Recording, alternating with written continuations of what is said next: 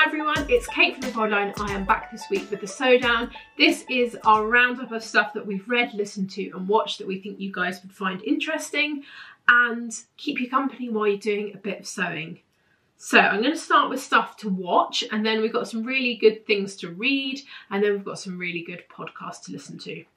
So first things first is watching um, two things from Netflix. The first thing is Next in Fashion if you you might have already binged it i have binged the whole thing already. Um, but it is in the format of i guess those like america's next top model where they're set a challenge each week. The thing that is interesting about them is that all the designers that they've got are designers and makers in their own right. So they're really it's really fun because they're really kind of amazing at what they do. And it's really fun and entertaining and yeah i love it. Um he his co-host is um gigi hadid who actually is her first time doing it and she was really wonderful. And the people in it are really lovely and interesting and got loads of kind of uh, yeah i just find it really inspiring. I think you'll enjoy it and it's actually really good to watch while you sew because you can sort of flick between the two so the next thing I've got on Netflix, it isn't new, but I've only just watched it and it's really fantastic. So if you haven't watched it, I would really recommend it. It's called Halftime and it's a documentary about Jennifer Lopez doing the halftime performance of the Super Bowl. It's really interesting. I mean, I've obviously heard about Super Bowl and how like what a big important thing it is to be asked to do it, but she was just so great and really interesting and you learn about the costumes and how the whole thing's done and how hard it is and she's like it was just really enjoyable. So if you haven't seen it yet i would really really recommend it because i absolutely loved it. And yeah it's just a really nice watch. I think it's about an hour and a half so it's like kind of film length but definitely worth and quite a lot of it is her talking so if you are sewing it's a good kind of audio to kind of listen along to so those are my two things to watch. I've got um, two articles um, from The Guardian. The first one is a really lovely one about um, Steven Bethell, who is the founder of Beyond Retro. Um, they are, if you haven't heard of them before, they're a chain of vintage shops. Um, they've got a couple in London, some in Brighton, and they are expanding. But I don't know about anyone who I remember as a teenager coming to London and like where you wanted to go was Beyond Retro and look through all of their amazing vintage stuff. And I just really, it's really nice, especially in the current climate, to hear about a company, a sustainable company, um, doing really well and excelling. So this was a really lovely article, so it's definitely worth going and having a look. The next one is a article about designer Amy Powney's quest to make sustainability more than just a buzzword. She's created a film about sustainable fashion. It is, I haven't watched it yet. I've watched the trailer and it looks fantastic. I feel like we should all go and watch this. So I will pop a link to the article where they interview her and she sounds like a really interesting person. She had a really interesting upbringing. She was brought up in a caravan without any um, power. So she's kind of got a, and she's worked in the fashion industry. So she's kind of got a very, she's coming at it from a very different angle. And she wants to create a collection that is kind of created with fabric, you know, as, as, is it possible basically to create a collection of fabric that is beautiful, has really amazing fabrics and the fabrics haven't kind of traveled that far. So it's a really i think it'll be a really interesting film. It's out in cinemas. I think it's out now. It's the beginning of march. It was out. Um, so the um, article is really amazing and i'll also pop a link to the um, website with the trailer for the film because it's really worth going and having a look at and i'm definitely going to go and watch it. I think it sounds really like fascinating. So the film is called Fashion Reimagined. I don't know if I said that. I probably didn't. Um, but I said film, documentary, but I think it will be really good. So another thing to read, um, we have got, it, this is from Rachel, she's reading this at the moment, and the book is called Rooted, written by Sarah Langford. And it's a memoir about um, her family are farmers and she went to the city and became barrister and ends up moving back to the countryside and coming back into farming in a completely different format, realizing that the whole industry has changed, how hard it is for farmers, what the press kind of junk it is about farming at the moment, and meeting a load of people that are farmers, the kind of new wave of farmers. It's, it sounds like I haven't read it, but the bio sounds really interesting, and she is loving it at the moment. So definitely worth going and having a look. And it's also on Audible if you like listening to audiobooks. So, talking books, really exciting. Our friend Portia Lawrie has written a book and she sent me a copy, and I thought I'd talk to you about it because it's really good actually. So, it's called The Refashion Wardrobe.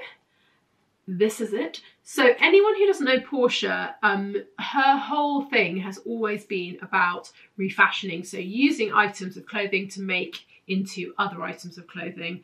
So Portia used to do this competition, well not a competition, challenge every year where she set a load of people a challenge where you had to use an item of clothing and turn it into something else. And she asked us to do it a couple of times and I found it so difficult and quite overwhelming. I really enjoyed the process when I when I got into it, but I found almost thinking about what I was going to do so hard that it sort of paralysed me a bit. And this is why I think this book is actually really good. So I was reading it and she said that there are two types of people who refashion and I thought this was really interesting.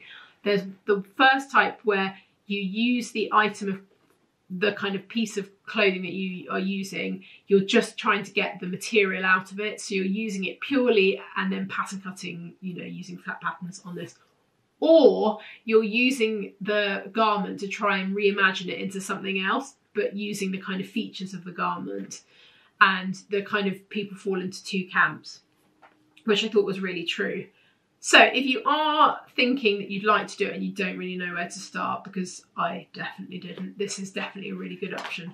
So the beginning of the book has got loads of good details about um, all the fabrics you'll need. Um, I think the beginning of the book is designed for people who are kind of newer to sewing. So if you're kind of more in the, you know, we've, we've, we've made a few things, we know a bit more what we're doing, then I would maybe skip to the project bits. And the project bits are really interesting because they're quite simple, but they just start your brain working on how you could use items of clothing and refashion them. And that's the thing I think that you need the, what other thing that I found I really struggled with. I think if you had this, you did a couple of these projects, then that would just take you on your way to kind of making loads of things. But it's actually trying to think of something in a new format that I found really tricky. So there's simple projects like this one, which is a using a t-shirt, a so simple black t-shirt, um, and turning it into a sort of tiered dress. Um, there's really nice, there's quite a few projects with shirts because obviously there's a lot of kind of big shirts kind of kicking around in charity shops. So turning it into sort of a tunic top. Um, or what else have we got in here? There's a cropped version of a top. Um, there's a little cropped version, like so. Um, and then there's everything up from that to which I think is sort of the piece de resistance, is this really beautiful quilted jacket using a throw. Here you can see. So the book is set out quite similar to a, like a traditional um, kind of like your standard pattern book. So you have that and then you have all the different options of how to make it here. So you kind of have the step-by-step -step instructions so that it holds your hands the whole way through. There's also a really lovely section about using denim and all the different ways that you can do it, which I really enjoyed as well towards the back. And then once you've kind of got through all the projects, there's this really lovely section at the back of the book where they show you how you wear all of the, um, how, how you wear everything together. And then they show you all of, there's a whole section about fitting, which is really in-depth and really easy to follow, which I found really kind of it's just, yeah, it's really nicely written, this book. And then there are things about sizing, different sizing options, how to actually take the kind of garments apart. Um, things like the jeans, particularly the chain stitch, which I have definitely taken apart is an absolute nightmare. So she tells you how to do that. Um, it's just a really kind of good book. There's also loads of things about hemming, different types of hemming, reducing bulk on seams, darning, machine darning. So there's it's kind of a wealth of information. And I feel like if you followed a couple of the projects at the beginning, you had this sort of reference bit at the back to kind of show you where you were going. It's a really, yeah, good one. So it is out on Monday. So if you are thinking you need a little treat, this is definitely worth having a check out. And yeah, it's really, it's also beautifully done. It's really nice. Really nicely done, um, which you, is just what you'd expect from Portia. So moving on from books, I've now got four podcast options. So we've got Off Air, which with Fi and Jane, which we have definitely spoken about before, and it's a particular episode that we thought was really interesting. Um, she interviews Patricia Field, who was the costume designer on Sex and the City, um, and Emily in Paris. So she's definitely worth going having a listen to. I really enjoyed it. So definitely go and check that out. Um, the next podcast is um, a newish one, which I'm really enjoying as well. And Rachel sent it to me and I've started listening to it. It's called Why Women Grow. And it's interviewing quite famous women in their gardens, not about gardening, but about life. Um, they're really interesting articles. It's part of the FT. It's just, they're very well, the person interviewing Alice Vincent is really well researched and they're just really lovely conversations. So perfect for when you're sewing. Um, the next one we've got is um, the Rabbit Hole Detectives, which I have listened to the first one of these and it's really funny. So the concept is have you ever gone down a rabbit hole when looking into something, a kind of bit of history or a phrase that you've like that we've heard all our lives and we're like actually how where did that come from? And the concept is that there are two people in the podcast and they set each other a challenge each week. So they have to do a deep dive on the topic that the other one has given them. It is really nice Really nice and light-hearted and definitely worth going and having a check out. So the last one is called The Witch Trials of J.K. Rowling. I don't know if anyone has seen this. It was really interesting um, podcast to listen to. So it's about, um, they actually interview J.K. Rowling, so she's in it. It's not just about her.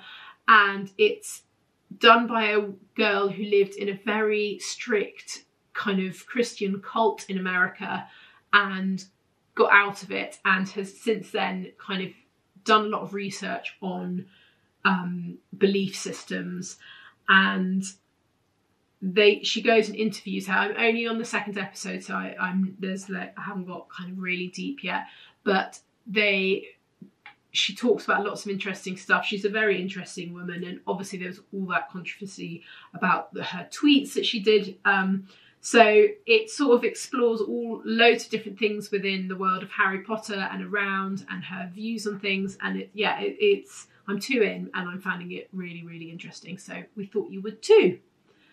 That is it from us this week. Um, hope you've had a good weekend and we will be back soon with another video.